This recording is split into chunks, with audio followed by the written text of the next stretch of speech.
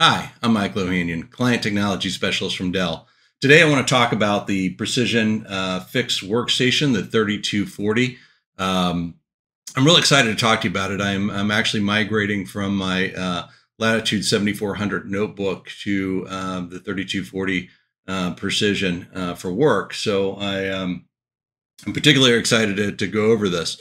Uh, but a little bit about it. Um, the the system that I got, I got a 99 10 core processor goes up to 5.2 gigahertz in speed. You know, I can take that all the way down to an i3. I can do an i5, i7, um, i9. Uh, I can even do Xeon class in this, right? I can go as high as a uh, W1290 uh, Xeon, a 10 core uh, Xeon processor in it. Uh, I've got it configured with 32 gigs of DDR4 memory. I can go as high as 64 gig. It is socketed, so I can uh, take memory in and out of, of this system. Um, I'll be sporting a uh, one terabyte uh, uh, M.2 SSD in this machine, but you know, technically I can go all the way up to uh, six terabytes of storage uh, in this device. Uh, one of the things I'm really excited to test out, um, I've got the NVIDIA Quadro RTX 3000 card in this machine.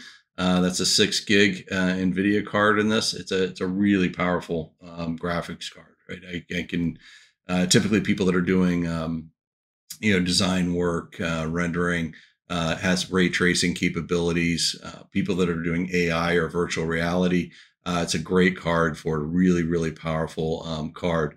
Uh, and the other thing that's nice about this machine is I can support up to seven 4K uh, displays in this machine, so a, a lot of them. So I just wanted to show you a couple little details about the, the machine itself. So this is not the 3240. This is the Precision 3240 compact workstation. Right? All that power I just talked about bundled into this small little compact form factor. Uh, like I said, I've, I've got an RTX 3000 card in this uh, machine, which is which is really rare in a, uh, a desktop uh, format. That's not a normal card that you can uh, buy on the streets here. Uh, but what I really like to, to show people is is how small this is, right? And all that power I just talked about it. Here, I'll bring out a another one to put it to the to the side of you. Um, you know, technically, uh, desktops are measured in uh, liters. It is a uh, 2.4 liter um, in size, uh, which is extremely small for a workstation uh, class class product. Um, but you know that really doesn't mean much to a lot of people. So, um, from a physical measurement perspective, if we talk about the height, so the bottom to the top, um, we're talking about 7.4 inches or about 188.1 millimeters.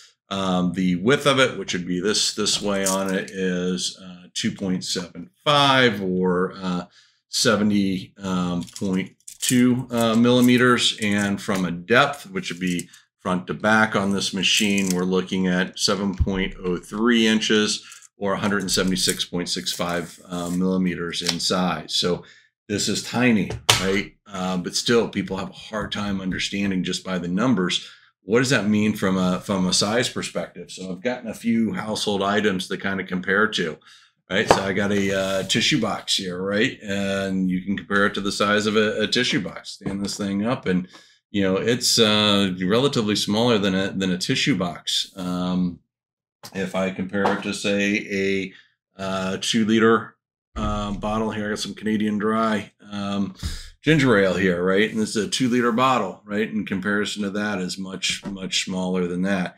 Again, think about all that power I've got in this machine.